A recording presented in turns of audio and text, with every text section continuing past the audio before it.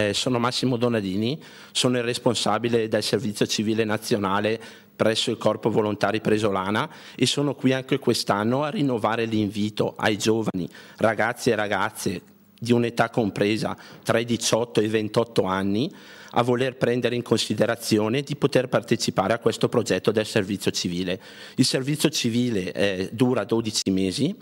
si svolge presso la nostra associazione che si trova a Castione della Presolana, presso il Corpo Volontari Presolana in via Piave numero 1